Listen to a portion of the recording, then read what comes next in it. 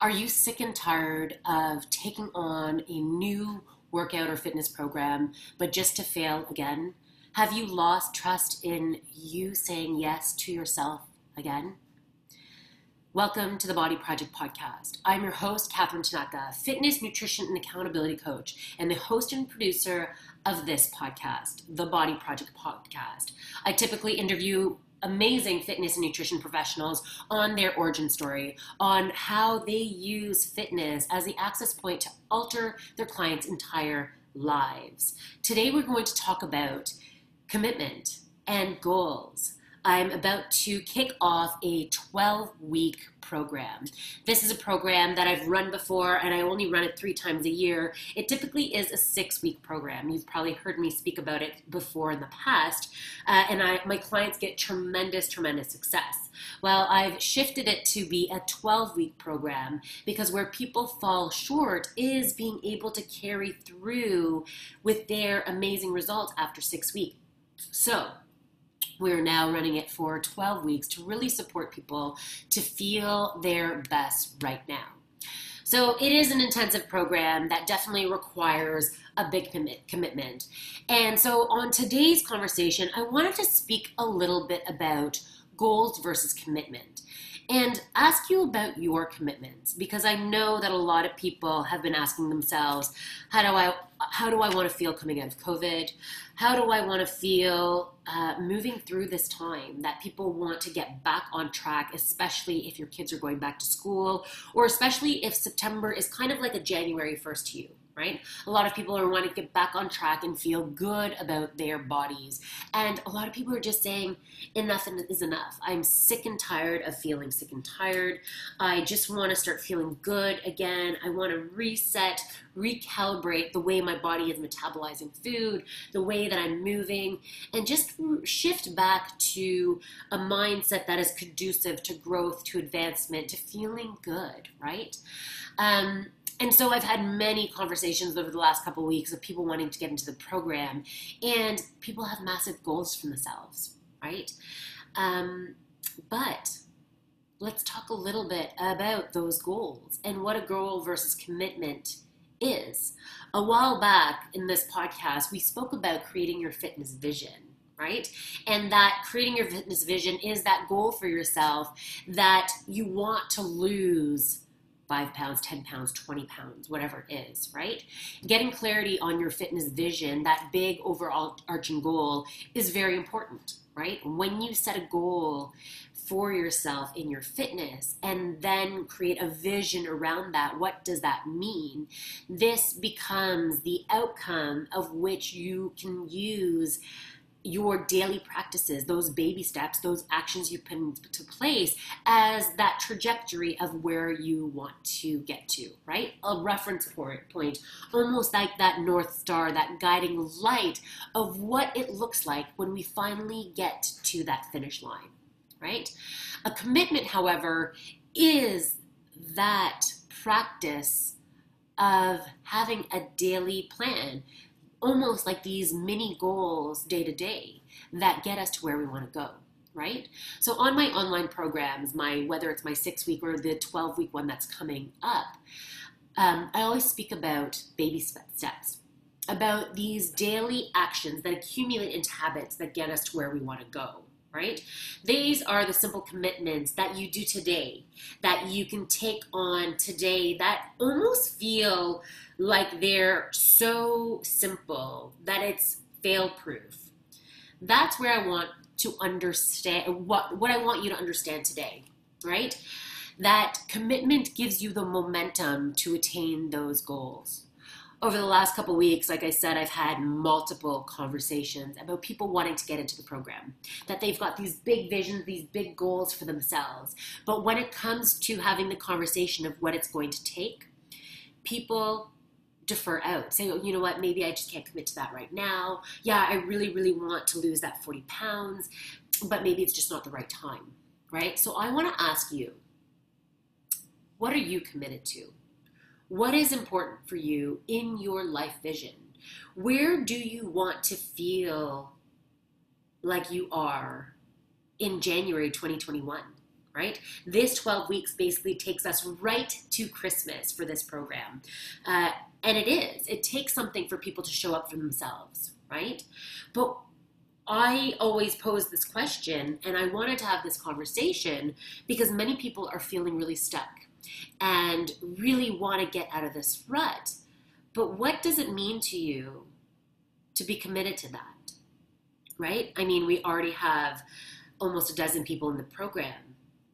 But what does it mean to commit to something bigger than yourself right now? Because if it isn't in fitness, it is in everything else in your life. I believe how you do anything is how you do everything. And so I ask you, what are you committed to? Because there is no question that 12 weeks is a marathon, not a sprint.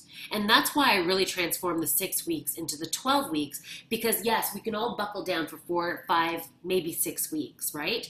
But when you add in eight, 10, 12 weeks, it is the long run, but it solidifies the results different than just doing a short program because then it becomes a habit into a lifestyle, into a long term success, into a long term sustainable, consistent way of being, right? So it's hard to show up for yourself day in and day out of this practice of putting yourself first when maybe you've been so out of practice for putting yourself first uh, especially because I work with a lot of working, busy moms, a lot of busy working women that are so used to putting kids first or partners first or work first or everything else like friends, like excuses, like life first, right? And so I get it. Oftentimes we lose trust in what we are capable capable of. We lose trust in ourselves because we've said yes to ourselves before excuse me, we've said yes to these commitments before and we failed, that we've derailed. And when you derail, or when you have that glass of wine when you said you were not going to, or when you have that piece of cake when you said you are not eating desserts this week, you make it mean that you can't be trusted. That when you say you're going to do something, you can't stick to it. That when you make a promise to yourself, you can't do what you say you're going to do. And so, oftentimes, what I find with my clients, with women, we start not believing in ourselves. We start not trusting in our word. We lose integrity in our own words to ourselves. And so, it is great to have a goal, to have a vision, but it is more powerful to find trust in yourself again, to commit to something bigger than yourself. Let me share a little story with you to maybe reframe it differently. I have an incredible client who hired me a while ago now. I call her Superwoman. She came to me to start training her two to three times a week when she started chemotherapy because she was diagnosed with cancer. Now, when you are diagnosed with cancer, this is a time that you can coil, you can sit at home, you have the excuse to live behind your excuses. But this superwoman decided against that. She knows, and she had this keen understanding that movement would bring her energy, would bring her strength, would bring her joy. It wasn't about the weight loss, it was about the commitment to her health, the commitment to showing up for herself, to showing up because she hired me so I can show up for her so she can show up for herself. Do you see how it's this beautiful symbiotic relationship? And so she was going through chemo. And for any of you that know somebody who has dealt with cancer, know anybody who has done chemotherapy, know anybody that have been challenged with cancer, even if you yourself have. It takes something to get out of bed. Sometimes it takes something to get out of bed when you don't even have cancer, right? But this woman, that's why I call her a superwoman, got out of bed on the days she felt nauseous, got out of bed on the day after chemo, got out of bed on the days she felt like crap because she had a bigger commitment to feeling good, a bigger commitment to her health, a bigger commitment to knowing that this is going to make a difference in her life right? Despite the excuses of having cancer, despite being a mom, despite working, despite feeling like crap, right? Sometimes it could be like you know, oh, I, I didn't sleep well last night. People cancel their training sessions, right? People tap out for weeks on end because they had a girls' weekend that they planned one way, but it went another way and they're ashamed, right? She showed up every single training session, right? We just kicked off a five day reset. And some of you listening or watching have joined us, so I'm so excited that you are joining us and welcome. Um, but a lot of people have chosen not to do that, right? I offered it free to all my clients um, because I think that September is like January 1st of resetting the way that we are in our habits. It's a great opportunity to say, okay, let's reset. And I really think that it's a beautiful opportunity to be playful with it, right? But sometimes we get activated by things outside ourselves. I know for me, that happens all the time. I don't like being told what to do, right? And this reset can be triggering for people. So I ask you, when it comes to taking something on, like a reset, like a 12 week program, like your health, like your goals in fitness, in life, in health, in nutrition, what is, act, what is triggering you? Why are you getting activated?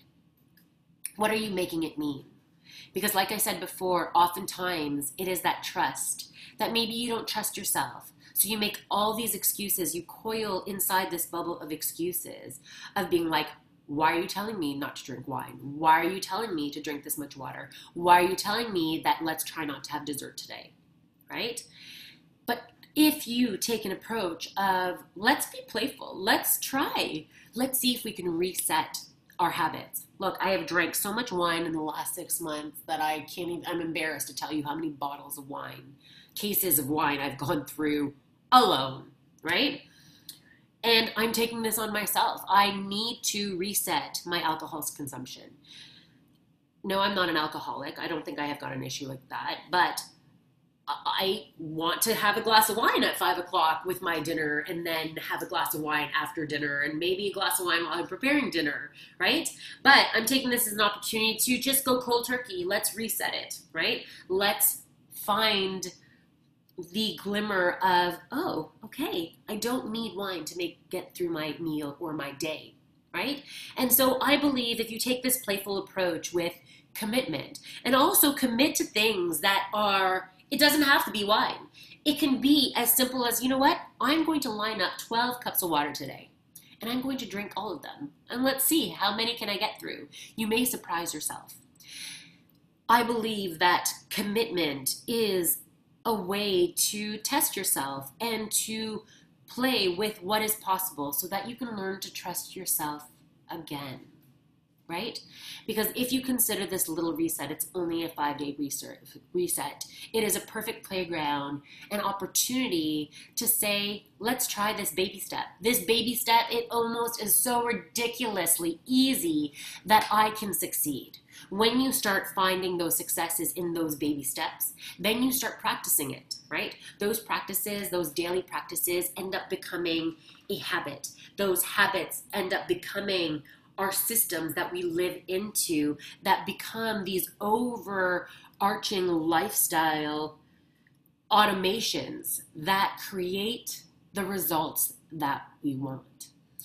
And so, as we dive into these 12 weeks that start off next week, we are going to be getting into the psyche, into the mindset of our excuses, the mindset of our self sabotaging conversations, our mindset of our negative self talk, the mindset of how we limit ourselves and our beliefs because we live from our excuses and our sabotage. So I welcome you to try on your commitment today.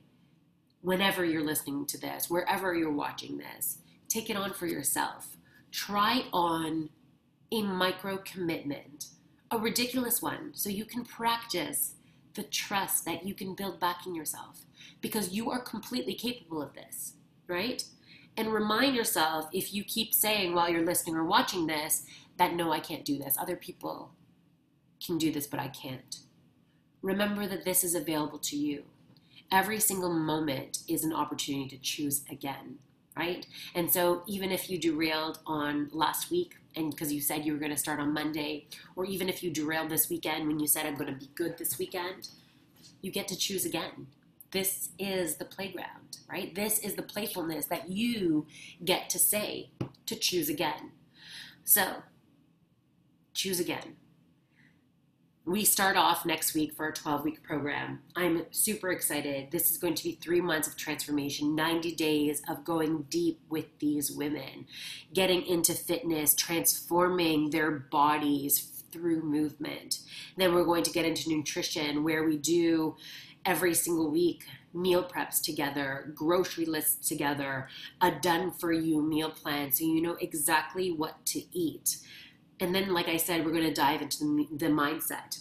But what I'm most excited about is that we are going to showcase these transformations that we've done over the last year with these amazing humans to do a fitness photo shoot. We're going to be sh- shooting with the amazing Paul Buceta. Paul is the resident photographer of Strong Fitness magazine, and he was the resident photographer for Oxygen magazines for many, many years and shoots for all the top magazines uh, globally, actually. Um, and he will be showcasing these women and all the hard work they will be doing. And it's not about looking like anybody else. This is about looking like yourself, being proud of your accomplishments, shining your brightest light into the world as who you are and who you have become and who you are becoming. I think it is a beautiful opportunity to celebrate right? If you've ever done a program with me before, if you've listened to this podcast before, I often talk about we are looking for those daily practices, those baby steps that accumulate to those habits and those micro successes that we also celebrate. Those many things every single day that you can celebrate to say, hey, I did it that I can learn to trust myself again today, that I stood up for myself today, that I showed up for myself today through movement, through fueling, through mindset. Those are wins that far often we don't celebrate enough, and we are going to be celebrating in big ways. So make sure you join me next week as we continue the conversation that we started way back before COVID when we interviewed Danae Pierce. Danae is an incredible woman who lost over 50, 60 pounds and ended up on the cover of Andy Vero magazine and now shoots for Strong Fitness magazine. She Uh, ha- is an inspirational story. But part of that series, we did a four part series with her, but we cut it short because of COVID. So we are going to continue on the conversation with the Paul Buceta. And I'm excited for you to hear the update and hear his experience with Danae, as well as what he offers women through photography uh, as the resident photographer for Strong Fitness magazine. Thank you so much for tuning in. Please rate, review, and subscribe. If you are watching this, you can press subscribe button so you don't miss a podcast that we do, uh, the video podcast here. And if you are watching this on, listening to this on iTunes or iHeartRadio, please subscribe. It really allows me to have a pulse knowing that we are reaching you and making a difference for you. Have a wonderful day.